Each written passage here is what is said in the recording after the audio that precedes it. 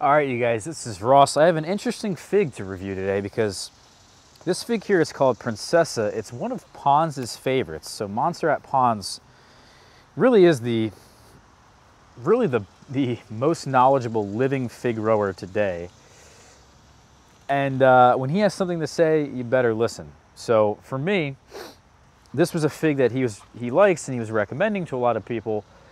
And I thought, well, let's try it. It probably isn't going to do the best here in terms of rain resistance or split resistance. And um, the real reason I picked it up is because he believes this one has like an interesting texture to it, which I've learned um, through testing a lot of and trying a lot of different varieties that the texture plays a huge part in which figs I really like. You know, I really like the sticky ones. I really like the jammy ones, the thick ones that are kind of like like a cake almost. Um, you know, figs are like jam on a tree here, guys. And this one, uh, I didn't really get a great representation or a great um, a great recommendation because you know Montserrat Pons speaks in Catalan or Spanish or whatever whatever it is, and translating words over is not always that easy. And um, the point is, is that I believe this fig is supposed to have a more jelly-like consistency to it. That's the, that's the interesting thing about it, is that the texture is supposed to be different. He recommended it basically for the texture. Also, I think he's recommending it for other reasons, but I don't really know what those reasons are. What I do know though is that I, I found this interesting and I thought I should grow it because this fig certainly is supposed to have a different texture to it. Um, interestingly enough, it did really like we had like a monsoon yesterday. Uh, today is like the day after or two days after the hurricane that came through here uh, that hit Louisiana. It's 2021 here, guys, uh, September 3rd. So it hit Louisiana, then it went all the way up through the Northeast and through the South, and it just destroyed a lot of people's homes and properties. And, and we got a lot of rain here, probably about a little less than two inches if I had to guess. Um, I have a friend over in Bridgeport who has a house there, and unfortunately, the water was all the way up to the height of the cars on the street. And that's just so uncommon here. Um, but he does live in a flood zone. He does live right near a river. So, you know, it just really sucks for a lot of people out there who may have potentially been in this hurricane. I really wished you guys the best. I hope everybody's okay. Uh, by the time this video comes out, it's going to be a while probably.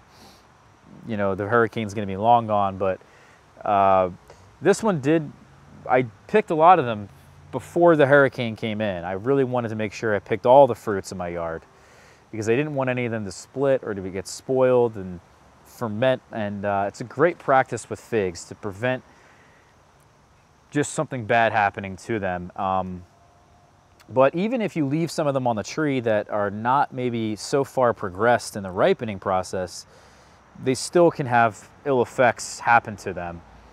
And this one seemed to make it, make it through pretty, pretty well without really any major hiccups. Um, so let me show you guys the fig now, the inside. However, I just even though it, you know, I'm saying all that, I just don't think it is really the best for rain resistance. So if you're looking for something that is going to perform well in a humid climate, I just don't think this is the fig, personally. But you never know. So there's the inside. Um, it's a honey fig. And, um, you know, I'm not really seeing the jelly-like consistency that I saw last year in this fig. And I've seen that jelly-like consistency. I've always described the textures in like three different ways. There's some meaty figs, there's like figs that are like jelly and like kind of like a congealed gel or kind of like a like a fruit leather. And then there's figs that are very jammy and they're just a lot like jam. Um, and they have different levels of thickness and different levels of stickiness. The the meteor figs are kind of like brown turkey. They have a lot of uh, big achenes to them. And then you can kind of really see this actually in this fig, where these achenes are actually what's determining the texture of the fig and how meaty it is. So you can see those white portions there, those white little individual flowers essentially.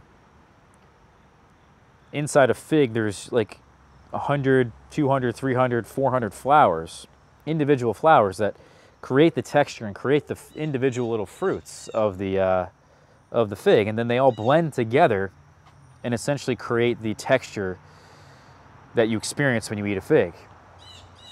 And again, depending on the Achenes, it really determines the texture. So let me see if I, I'm gonna eat this and see if maybe I have some sort of interesting observation.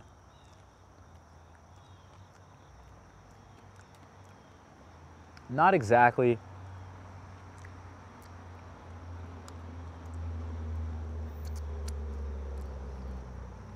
I know this is amber, and I know that in warmer climates, maybe if you, it's caprified, I'm sure this will change quite a bit, but especially in warmer climates, the pulp actually turns a bit red, and it probably has a slight fruitier berry flavor to it. Um, maybe a mild flavor. This, to me, tastes a lot like your typical honey fig. There's not a whole lot of difference. You can see that it peels very, very easily, so that's cool. Um, very juicy, this is like a fig that a lot of people would probably enjoy because you know, not everyone likes the thick and jammy and sticky figs that I like. This is more juicy, refreshing, enjoyable. Um, I know Ben in Seattle probably would love this this fig here. Um, so yeah, like uh, maybe it's not for me, but it's it could be for you. And it's not my favorite. You know, a lot of the honey figs are just not my favorite. They're not usually that complex. This one tastes a lot like brown sugar and honey and figs. Um, very sweet, very good. A lot of syrup and, and um, honey in there. But yeah, for my money, it's just not my favorite. Uh, it is a very productive variety, I've noticed. Produces a lot of fruits. Um, it doesn't seem to really be bothered too much by a lack of light, so maybe it's adapted more to a lower light condition, therefore making it quite a productive variety. Um, yeah, overall, I'm just impressed with the general tree and how it performs and how even the fruits are. The shell of the fruit is pretty good. It probably would make a decent commercial variety. Uh, you know, I actually think this is overall a very, very good honey fig. It's got great size to it, as you guys can see. I mean, the fruits are big. Um, so I think this is probably what maybe Pons is sort of recommending to people as a commercial variety, a commercial option. I can see it very easily. Um, so I'd recommend this for that purpose. I'd recommend it for just a general fig. You like honey figs. You like the bigger ones that are more juicy. Yeah, this is much better, in my opinion, than brown turkey. Um, so yeah, that's Princessa, guys. What a nice name, huh?